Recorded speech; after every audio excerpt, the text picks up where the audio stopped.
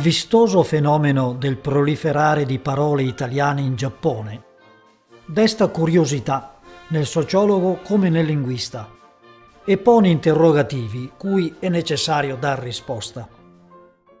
Tali parole saltano all'occhio ormai dovunque, nel contesto urbano, nei media, nella pubblicità, nell'oggettistica, e risultano aumentare allargandosi a tutto ciò che concerne le classi medio-alte, in primis ristorazione e trasporti.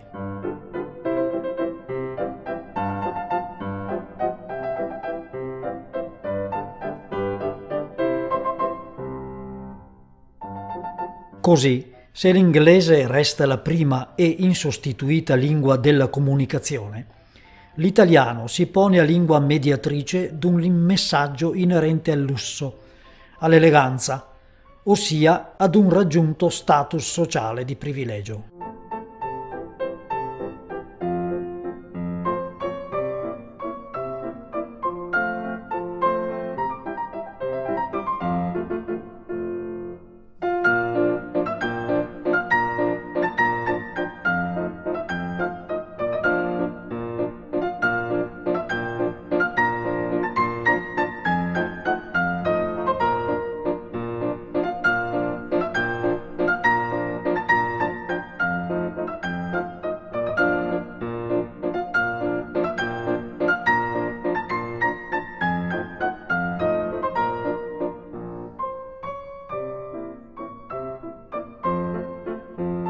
Cause del fenomeno vanno ricercate nelle seguenti ragioni.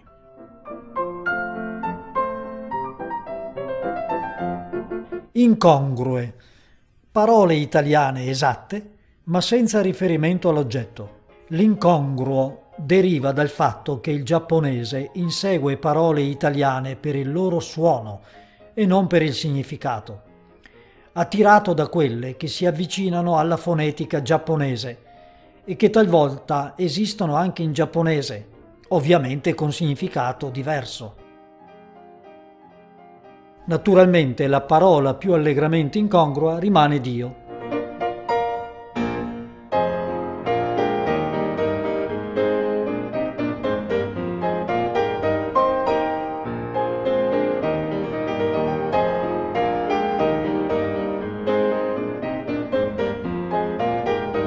Corrette per trascrizione adattata.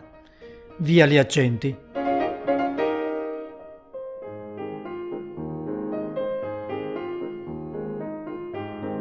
O addirittura, per eccesso di zelo, con doppie indebite.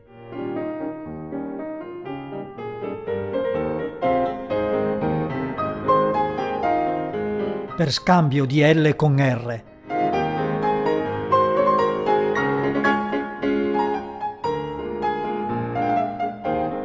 per trascrizione consonantica errata o all'inglese.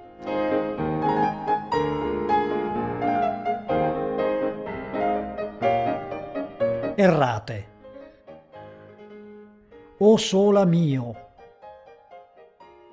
Sono imputabili a difficoltà di trascrizione e soprattutto a scarsa preoccupazione di esattezza, mirando invece a colpire l'attenzione direttamente senza il tramite della lingua corretta originale.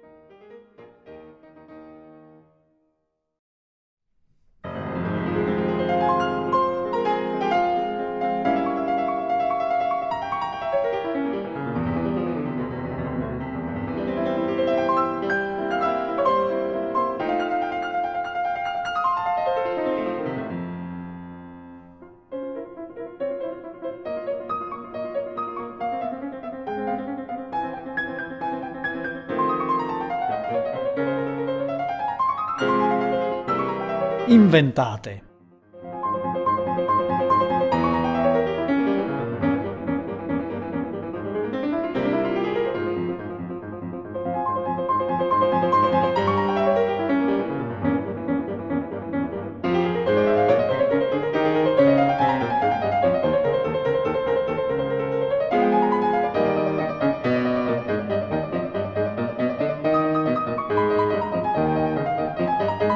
Contaminate. Parecchie scritte accoppiano italiano e latino ad altre lingue, principalmente inglese e francese.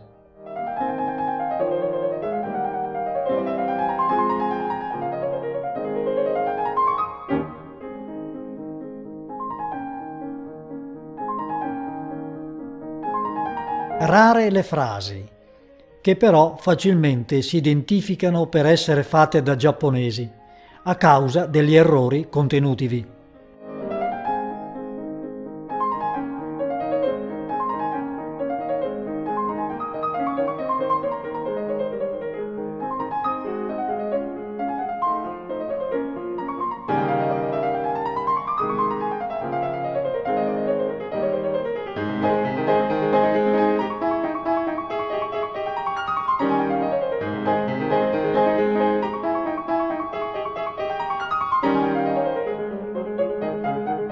Ne consegue che la scritta italiana identifica agli occhi dei giapponesi un superiore livello estetico, il che significa una maggior qualificazione sia del prodotto che del suo consumatore.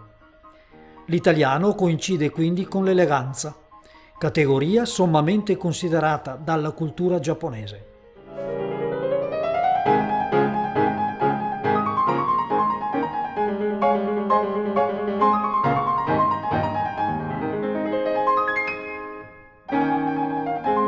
La tendenza nel campo dell'industria alle scritte latine. Se l'italiano comunica concetto di eleganza, il latino comunica quello di universalità. Italiano e latino convergono così in quella realtà storico-culturale che ha nome Italia.